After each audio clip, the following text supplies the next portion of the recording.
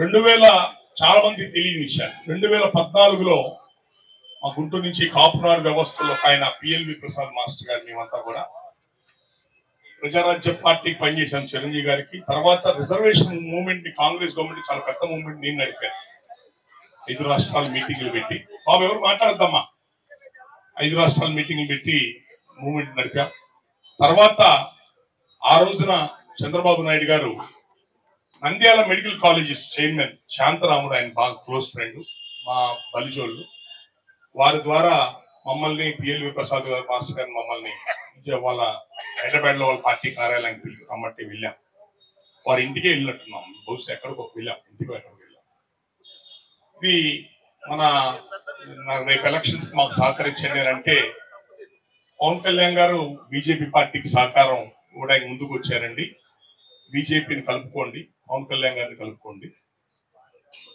ఆ రోజుకున్న survey report ప్రకారంగా జ- జగన్మోహన్ రెడ్డి గారు టీడీపీ కూడా ఆ రోజు కూడా రెండు వేల పద్నాలుగు కూడా ఫైట్ బలంగానే ఉంది. డిఫరెన్స్ వన్ పర్సెంట్ ఇద్దరు మధ్య. మీరు మేము మొన్న రిజర్వేషన్ ఉద్యమం నడిపాం. మా రిజర్వేషన్ ఎప్పటి నుంచో సమస్య మాకు కొంచెం చేసి పెట్టండి. బ్రాహ్మణులు కళ్ళు అగ్రకులాల్లో పేదలు ఇబ్బంది పడుతున్నారు. బ్రాహ్మణులకి కాపులకి కార్పొరేషన్ లాగా ఏదైనా హెల్ప్ చేస్తానని చెప్పండి. మీరు మేమెవరో రికమెండ్ చేయాల్సిన అవసరం లేదండి. మా సమస్య ఎక్కడికి నిలబడి మీరే ఎత్తండి. మేము మా వంతు మేము సహకరిస్తామని చెప్పానంటే అది అన్ని పార్టీలు కూడా చెప్పాం. మాకు ఎవరు రిజర్వేషన్ ఎవరు చేస్తారని. ఆ రోజు చంద్రబాబు నాయుడు గారే బయటకు వచ్చి చెప్పింది నేను చేస్తాను. ఖచ్చితంగా చేస్తానన్నారు. అన్నమాట ప్రకారమే జీవో ఇచ్చారు సర్వే చేయించారు అసెంబ్లీ తీర్మానం చేయించారు. నెక్స్ట్ కాపు కార్పొరేషన్లో కాపు కార్పొరేషన్ మన కాపు భవనాలకి వంద నియోజకవర్గాల్లో ల్యాండ్ శాంక్షన్ చేశారు భూమి దానికి డబ్బు కూడా కేటాయించారు. అవి ఇప్పుడున్న ప్రభుత్వంలో మొత్తం రద్దు చేశారు జగన్మోహన్ రెడ్డి గారు. మా కాపు సంఘంలో ఎవరు అడగరు. ఎందుకు అడగరో నాకు తెలియదు. అన్ని రద్దు చేశారు. బీసీ ఎస్సీలకు ఉన్నాయి హాస్టల్స్ ఉంది వీళ్ళకి కూడా కొంత స్థలం ఇప్పించారు.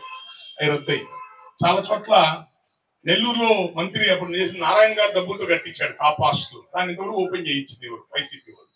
చిత్తూరు ఆదికేశ్వర నాయుడు ఫ్యామిలీ డబ్బు ఇచ్చి కట్టించారు. దాన్ని ఓపెన్ చేయనివ్వరు. ఇట్లా ఉన్నాయి. చాలా సమస్యలు బాధలు ఉన్నాయి. ఇది ఆ రోజున మా రిజర్వేషన్ మిగతా అవసరాల కోసం అన్ని ప్రభుత్వాలతో అప్రోచ్ అయ్యాం.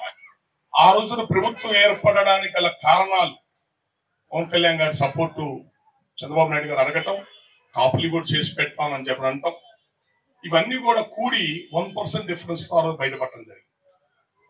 ఈ రోజున మన జగన్మోహన్ రెడ్డి గారి ప్రభుత్వం నడుస్తుంది రేపు ఎలక్షన్కి వెళ్తున్నాం. నేను ఈ విషయాలన్నీ మీకు ఇప్పుడు ఎందుకు మాట్లాడుతున్నానంటే ఇది వార్ వన్ సైడ్ మనం ఇది గెలిచేస్తాం. ముందు కేడర్ ముందు ఆ మాటలు మర్చిపోడు. భారతదేశంలో ఎక్కడ జరగనంత దుర్మార్గపు ఎలక్షన్ డబ్బులతో కూడుకున్న ఎలక్షన్ దౌర్జన్యాలతో కూడుకున్న ఎలక్షన్ ఎక్కడ జరగనంత ఎలక్షన్ రేపు ఆంధ్రప్రదేశ్లో జరగబోతుంది. జగన్మోహన్ రెడ్డి చాలా టఫ్ ఫైట్ ఇవ్వబోతున్నాడు. సామాన్యమైన ఫైట్ ఇవ్వట్లేదు టఫ్ ఫైట్ ఇవ్వబోతున్నాడు. ఎవరు గెలిచినా one percent two percent difference తోనే గుర్తు పెట్టుకోండి ఆ రోజు రెండు వేల పద్నాలుగు కూడా అరవై సీట్లు వచ్చినాయి అతనికి. చిన్న విషయం కాదు. ఇంకా అనేక బలాలు దగ్గర కలుపుకుంటున్నాడు అతను. కాబట్టి వ్యూహాత్మకంగా మీ కూటమి వ్యూహాత్మకంగా జాగ్రత్తగా చేసుకుంటేనే గెలుపు. ఈ రోజు ఈ స్టేజ్ నేను చెప్తున్నా. చంద్రబాబు నాయుడు గారు పవన్ కళ్యాణ్ గారు ఇద్దరు ఒక మాట మీద ఒక సిస్టమేటిక్ ఎలక్షన్ చేసుకుంటే గెలుపు వాళ్ళదే. హరిహర బ్రహ్మాదులు అర్థం వచ్చిన. గెలుపు వాళ్ళదే. డౌటే లేదు ఇందులో. ప్రజల్లో ఏదో వ్యతిరేకత ఉంది స్వీప్ అయిపోద్ది. ఇవన్నీ మర్చిపోండి ఆ మాటలు.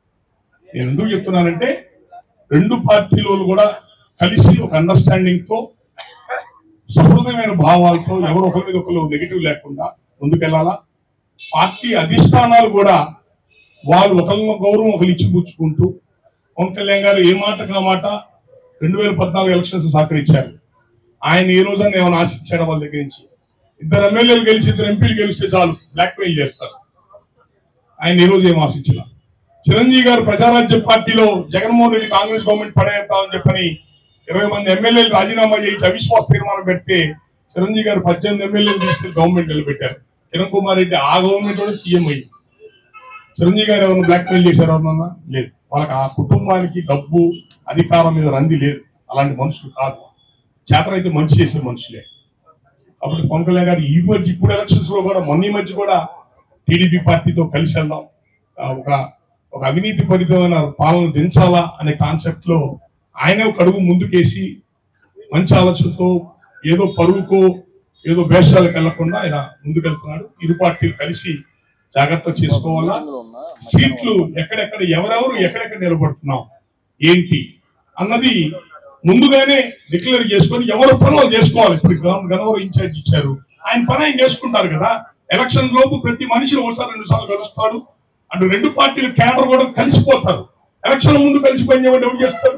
ముందు నుంచే పని ఒక అవగాహన వస్తుంది పనిచేయడం తేలికొస్తుంది హనుమాన్ జంక్షన్ చంద్రశేఖర రమేష్ గారు మంచి చాలా మంది రామవరపాడు నుంచి ఎడబార్ నుంచి చాలా మంది బలమైన నాయకులు ఉన్నారు కాబట్టి అందరి సహకారం బాగుంటుంది. ఖచ్చితంగా గెలుపు పనివైపే ఉంటుంది. కాబట్టి మిమ్మల్ని కోరుకుంటుంది ఒకటే రెండు పార్టీలు కూడా ఒక అవగాహనతో సిస్టమేటిక్గా చంద్రబాబు నాయుడు గారు కూడా చెప్పాలి జనాలకు. రెండు వేల పద్నాలుగులో ఏం ఆశించకుండా నాకు చేసి పెట్టాడు. ఎందుకంటున్నానంటే ఈ కాపు బీసీఎస్ కులాలండి అధికారం డబ్బులు కోరుకోరండి ఆత్మ గౌరవం కోరుకుంటారు. పవన్ కళ్యాణ్ గారిని బాగా చూసుకుంటే దాన్ని ఓట్లు వేసేస్తారు పవన్ కళ్యాణ్ గారిని గౌరవంగా చూసుకుంటే ఓట్లు వేసేస్తారు అంతే. నియోజకవర్గాల్లో ఏం లేదు అయ్యా రండి కూర్చొని జాగ్రత్త మాట్లాడుకోవాలా మాట్లాడుకోవాలి అవగాహనతో పని చేసుకోవాలా. ఈ విధంగా జాగ్రత్త చేసుకుంటే రేపు గెలుపు ఈ కూటమిదే. కాబట్టి ఈ కూటమి యొక్క గెలుపు కోరుకుంటూ రేపు రాష్ట్రం ఆల్రెడీ చాలా డ్యామేజ్ అయిపోయింది. అన్ని ఆగవల్ల ఆగవల్లలు అయ్యాం అప్పులు పాలయ్యాం. దీనన్నింటినీ ఒక పదేళ్ళు మళ్ళీ పోరాటం చేస్తే కానీ ఈ డ్యామేజ్ సరి చేసుకోలేం.